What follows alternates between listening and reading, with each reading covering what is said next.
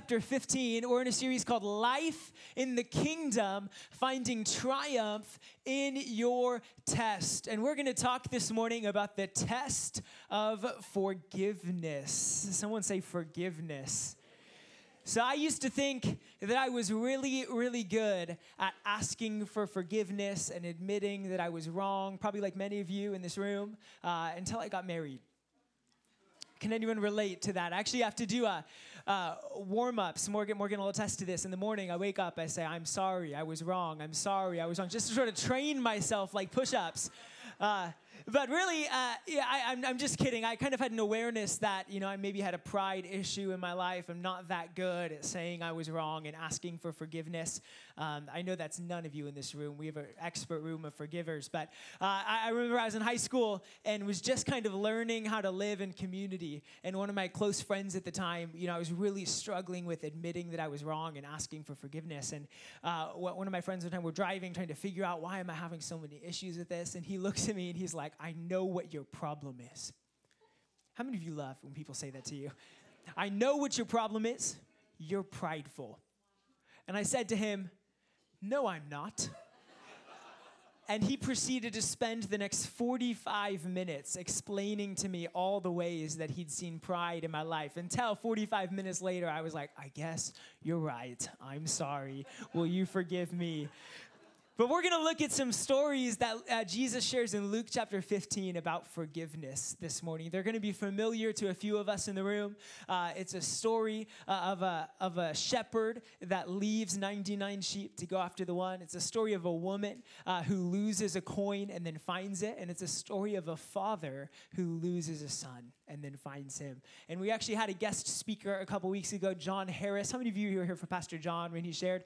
Uh, he taught an amazing message on Luke chapter 15 and you know, we at The Rock give our guest speakers a lot of freedom to hear from the Holy Spirit what they're supposed to share on. He shared on Luke 15 as I sat in the front row, checked the message schedule, and confirmed, yes, in two weeks, I also was slated to speak on Luke chapter 15, uh, but talked to the teaching team that we have here and really decided that there must be something that God wants to speak to us as a community to do it back to back. So we're going to look at Luke 15 again this morning, but from a different angle. Um, this morning, we're going to look at it from the lens of community. Say community. And if you look, kind of the climax moment in each of these three stories, each of these three parables is an invitation for celebration in community. Luke uh, chapter 15, verse 6 says, Rejoice with me. Say, with me. For I have found my sheep that was lost. Luke 15, 9, in the woman with the coin says, Rejoice with me. Say, with me for I have found the coin that I had lost. And then the Father in Luke 15, 23 and 24 says, Let us eat and celebrate. He was lost and was found. So let's pray this morning. Lord, we thank you for your presence that was so clear, so evident in worship. God, we thank you for your love for us. God, you love us so much.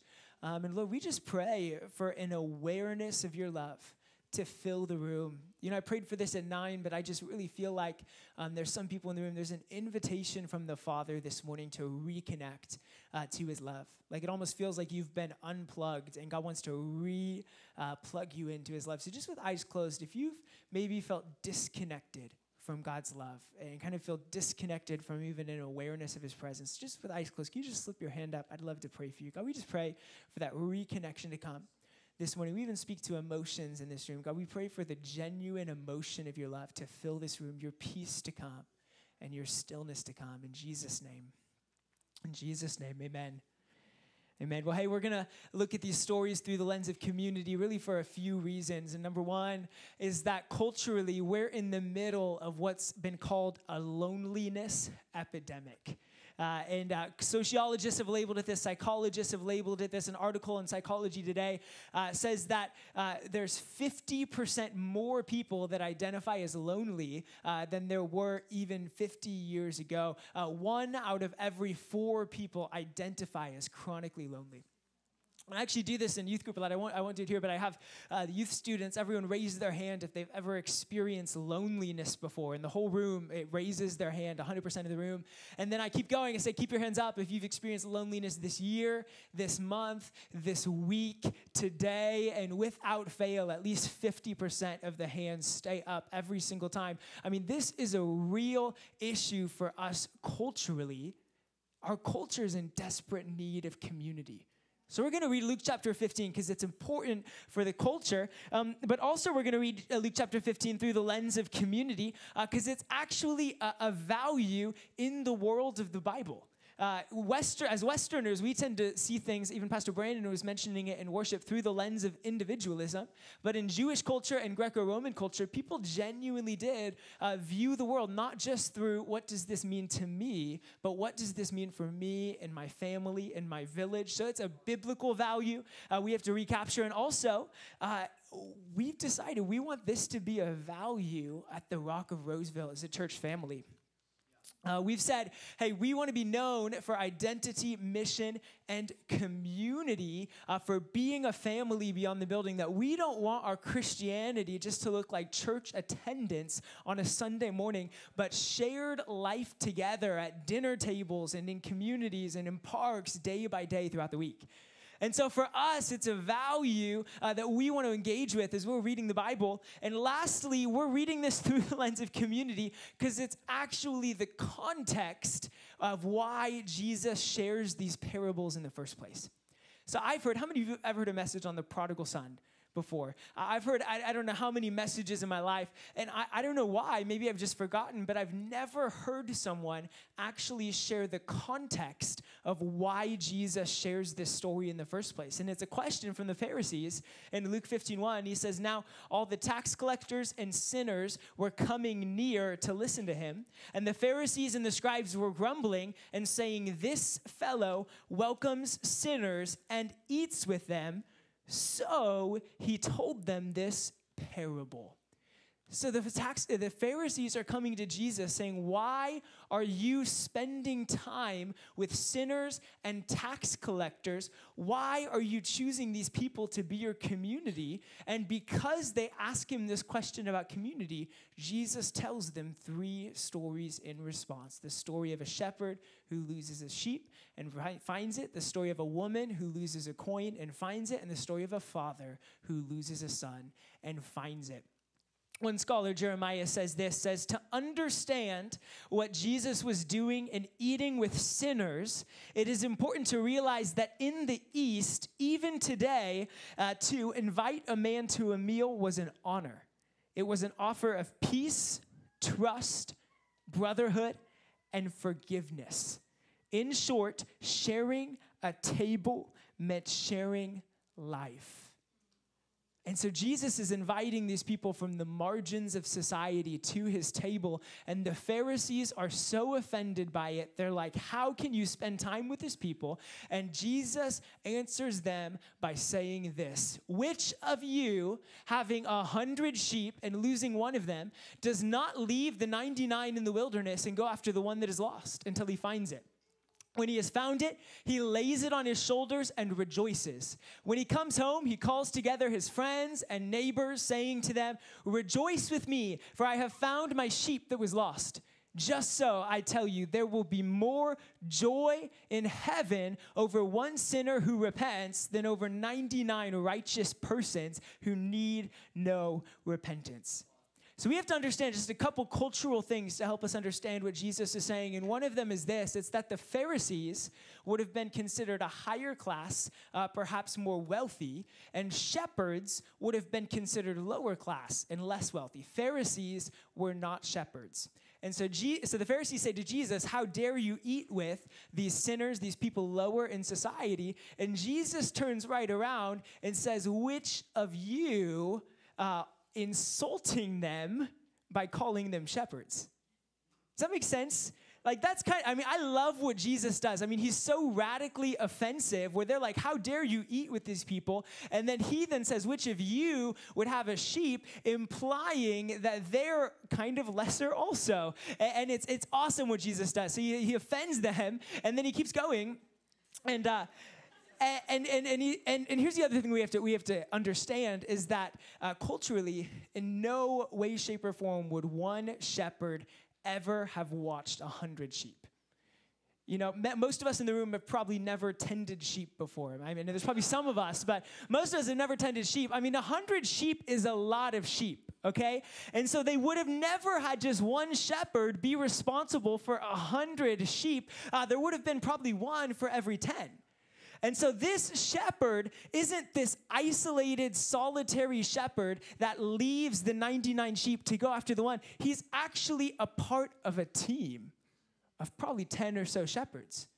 And here's the other reason we know that is because it says he leaves them in the wilderness, and then when he finds the sheep, he comes back home. So somehow the sheep have migrated from the wilderness back to the home, and the implication that people in this day and age would have understood is oh my goodness, of course, the team of shepherds that that one shepherd left would have taken those sheep back home. So, this is not a picture. We imagine that it's a picture of this one single shepherd that leaves the 99 to go after the one, when actually he's a team member that leaves the 99 to go after the one. He's part of a community that's on a mission.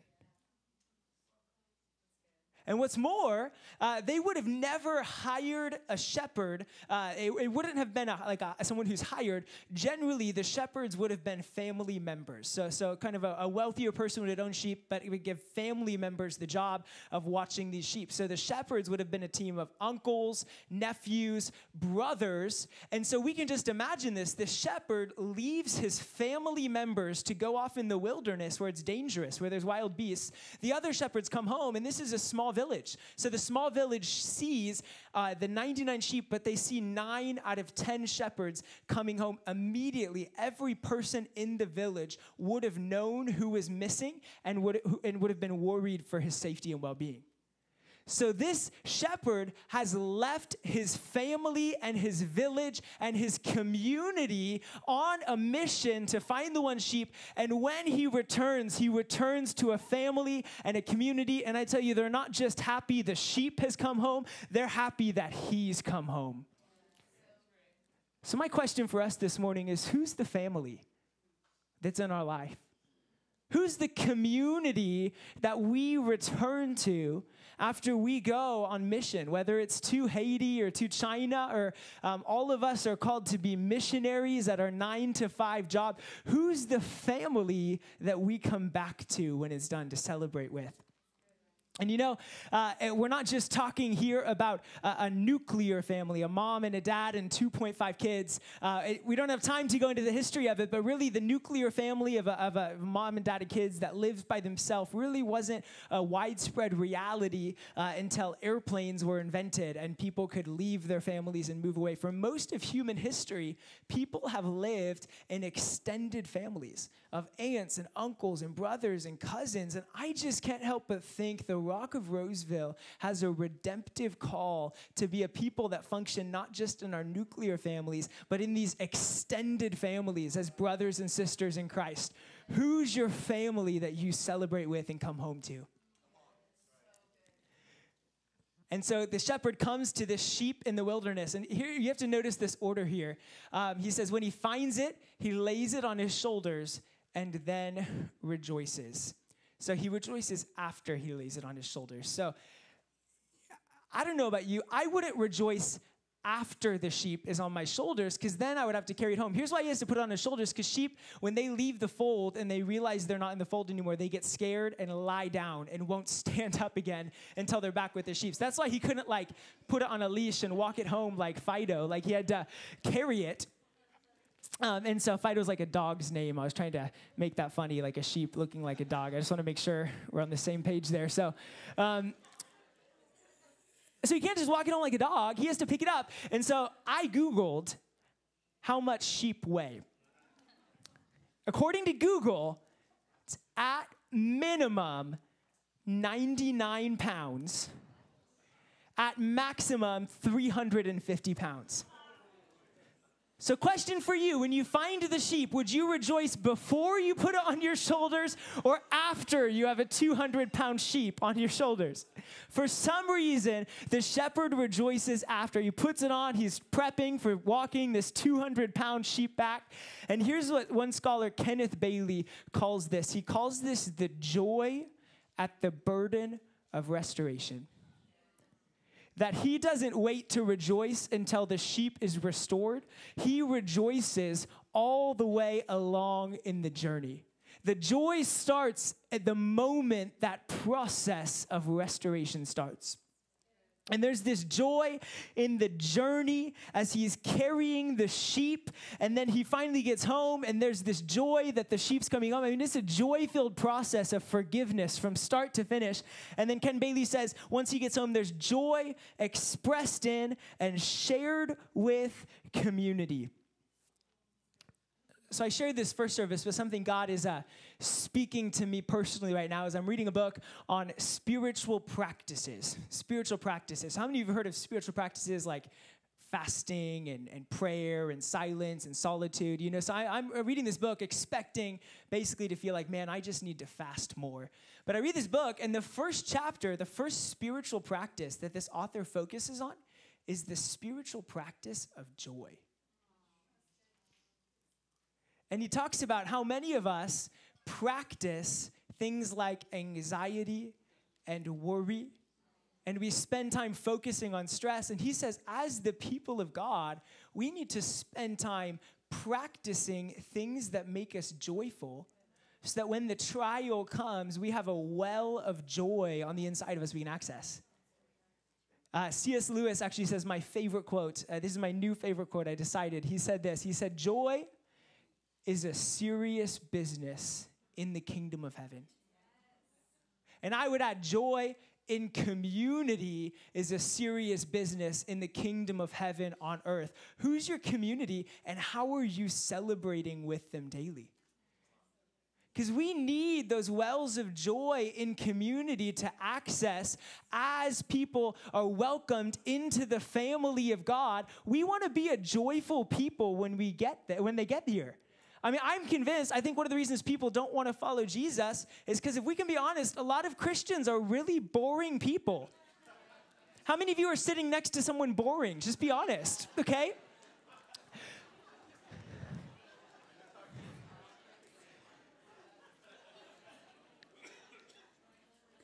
God is such a joyful God. We have a responsibility to actually practice joy in our life. Joy that's not based on circumstance, but based on the reality of our Savior. So, as people are welcomed into the family, they're not just welcome to a service, they're welcome to a celebration.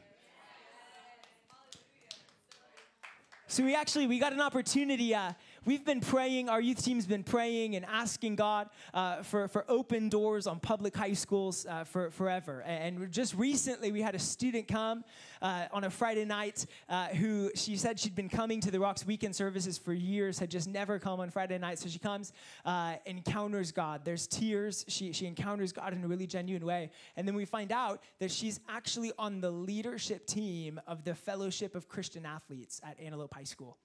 And so she encounters God on a Friday night and she starts to bring her friends to Friday night who all happen to be the leadership team of the Fellowship of Christian Athletes at Antelope High School. Uh, so we have six, seven, eight of the leaders of that group at our youth group on Friday nights. Uh, six of them actually came to camp and encountered God in a powerful way. And some of you guys sponsored them, and I want to thank you for that. But uh, they come and uh, we've uh, they've invited us to come on their campus. And so we've come on their campus, talked to them, and we've just just said, hey, what would it look like? What do you guys want to see on your campus? What do you guys want to see God do? And we've and they've kind of said, hey, we don't want to have awesome events. We want to have a community and a family that we can welcome people into. So we said, awesome, let's do it. So Mondays, just practically, what does that look like? So Mondays after school, we all sit around a table. We bring uh, pizza or some other unhealthy food. One week it was uh, Dutch Bros chocolate milk. We bought gallons of Dutch Bros chocolate milk. Does anyone like that? They actually, they'll sell it to you in the gallon if you ask. So we bring them junk food. Uh, and then we, we go around, because there's nothing that builds community with teenagers like pizza and junk food. And then we go around the table and we just share our win of the week. And it's this practice and this rhythm of celebrating in community. And this rhythm of celebration, this practice of celebration is so contagious. Every week, we don't advertise this group, we just hang out. Every week, uh, students come and want to join in on the fun and community that we're having. Who's your community? And what's the rhythm of celebration you have with your community? So Jesus goes on and says, What woman, having 10 silver coins, if she loses one of them, does not light a lamp, sweep the house, and search carefully until she finds it? And when she has found it, she calls together her friends and neighbors, saying, Rejoice with me, for I have found the coin that I had lost. Just so I tell you, there is joy in the presence of the angels over one sinners, over one sinner who repents again, a couple cultural things for us to understand. Number one uh, is this is a, probably a more impoverished uh, culture. Uh, one coin would have had more value than just its monetary value because coins were very rare. So that's why it's a big deal that this coin has gone missing. Um, and then the second thing you might notice is she sweeps the house. Why does she just sweep the house and not search the village? Um, actually, it's because uh, in this society, women uh, were very marginalized and considered as less than men, and oftentimes did not have mobility uh, beyond their house. And so that's why she sweeps the house, because she's normally not seen, not heard. Um, she has to stay there. She's viewed as lower. And I mean, just catch what Jesus does. He takes these high class Pharisees, and number one, compares them to shepherds, but then number two, uh, compares them to women. And actually elevates the woman to be an example of shouldn't you go after lost things and have community like this woman does. It's, it's number one, very offensive to the Pharisees, but number two, very honoring to, the, to women who would have been on the margins of society. Jesus welcomes them right to the middle of his story. My wife's ready to clap. She's like, Yes. so, my question for us is who is on the margins of our lives that we're welcoming into our family and community? Who's the forgotten person, the rejected person, the broken person in our lives? And when's the last time we've had them at our tables for dinner to invite them into those rhythms of celebration? So Jesus keeps going. He says, Then Jesus said, There was a man who had two sons. The younger of them said to his father, Father, give me the share of the property that will belong to me. So he divided his property uh, between them.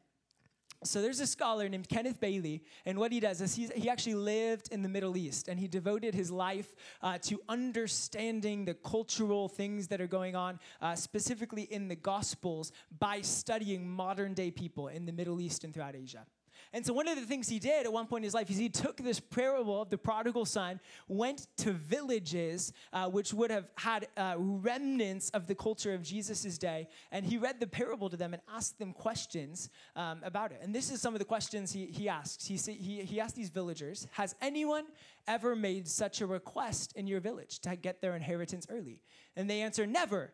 And he says, Could anyone ever make such a request? Impossible. If anyone ever did, what would happen? His father would beat him, of course. Why? Because this request means he wants his father to die. And this is a common understanding in villages, especially in the East, uh, that he, this request means he wants his father to die by asking for the inheritance early. And so, what would have happened is again, through the lens of community, it's not just his relationship with his father that gets broken in this request. He's a part of a village and a community. And so, when he wants his father to die, he actually would have been shut off from the entire village. And there's a ceremony that they would do where they would break a pot in the middle of the street to symbolize you are to us broken off like this pot. He would have been rejected from the community forever. And if he ever returned, he would have been stoned.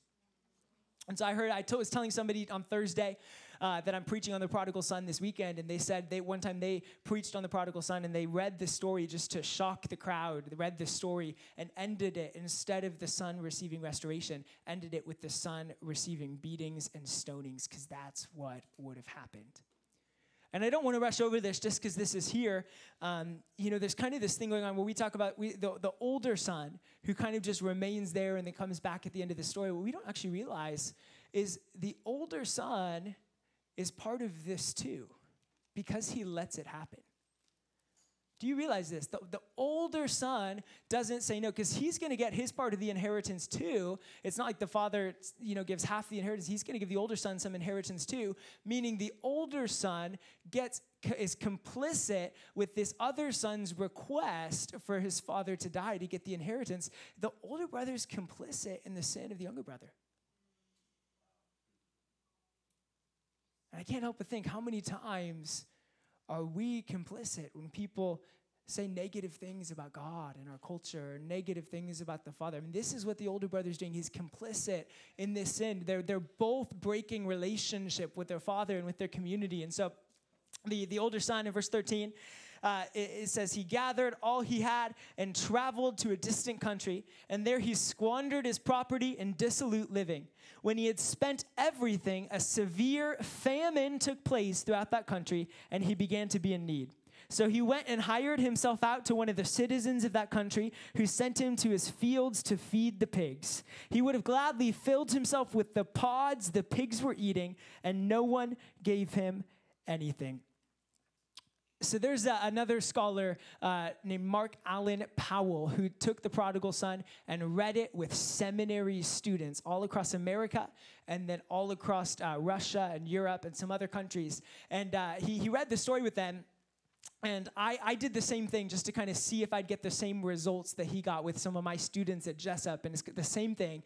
Across the board, 94% of Americans who read the story of the prodigal son leave out the word famine when they have to recount the major events of the story. So you do this exercise, you read the prodigal son, they have to list the major events. 94% of Americans leave out the word famine. When he does this with Russians in Russia, uh, a majority in the 90th percentile count famine as a major event in the story. Why is that? Uh, it's because in Russia, there was a major starvation event after World War II where over a quarter of the population died. So, for Russian students reading the story, famine is seared on their national conscience, where they had grandparents, uh, great aunts, great uncles die in this famine. So, when they read this, it's a big deal to them. But for us Americans, most of us have never, exp- you know, those of us in here who are Americans, we've, most of us have never experienced a famine. And so this aspect of this story just kind of goes right over our heads. Isn't that interesting? And so that, that kind of helps us to see, man, man, we got to put some cultural glasses on here. Here's the other thing that's going on is uh is the son is leaving his family and his village he's leaving his community and then going into isolation something that's very shocking for this culture do you know what americans said the number one problem in the story was Americans said the number one problem in story, in this survey, Mark Allan Powell did, they said the number one problem was that the son wasted dad's money. Isn't that so American? The son wasted dad's money. He sins, he messed up. When you read this story in Eastern cultures, they'll identify the pri- what some of the primary problems in Tanzania. They'll identify the primary problem is that no one in the foreign land welcomed him and they left him alone.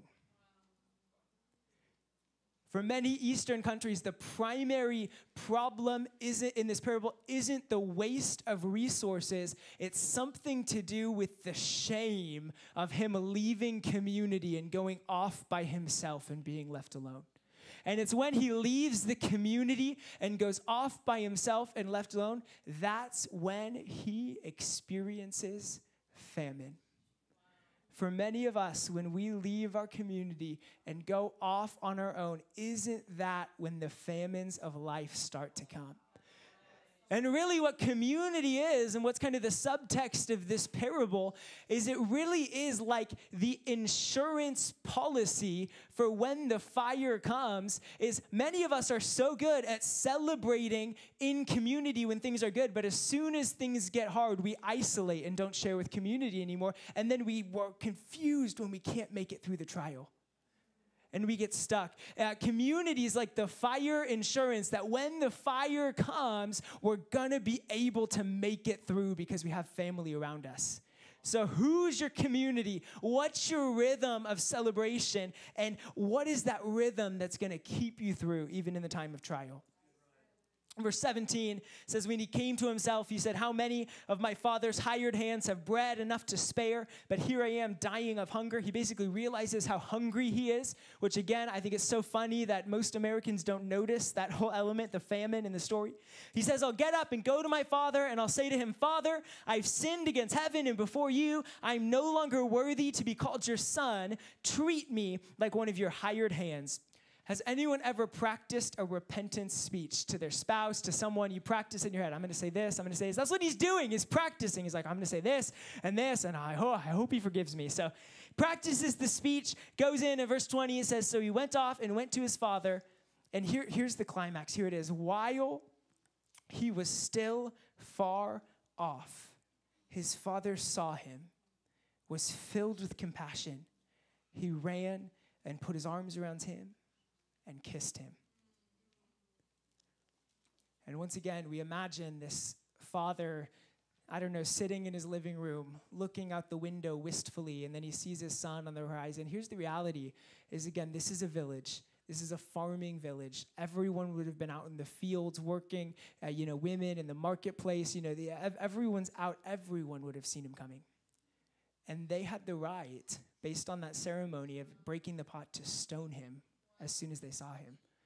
And what's more than likely going on, because of the deep offense in this culture of violating community, what's more than likely going on is the village is starting to form the mob, getting ready to stone the son.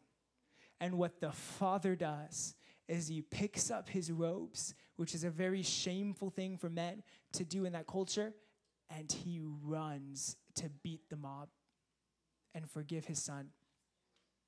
The father risks the rejection of his community in order to extend forgiveness to his son. The father risks humiliation and vulnerability so that his son can be honored. Ken Bailey says it this way He says, uh, The father comes down out of the house and, in a dramatic act, uh, demonstrates unexpected love publicly in humiliation. Do we know that this is what the Father does for us? He, he, he was rejected so that we can be accepted, He was humiliated so that we could be honored. And the Father forgives the Son by hugging him, kissing him, and that one act of forgiveness then has a ripple effect through the whole community, and the whole community forgives him as well. The Father's forgiveness doesn't stop with the Son, but extends to the whole community. So that's kind of the last, the last point here this morning. We're, we're just, I'll just summarize the rest for time's sake. You know, the older son ends up having his moment of forgiveness also, but that one act of the father's public humiliation started this ripple effect of forgiveness that extends throughout the whole community. The father's forgiveness starts with us, but it never ends with us. The Father's forgiveness is a stream and a river, not a pond. And when the Father forgives us, we have the opportunity to extend that forgiveness to everyone else as well.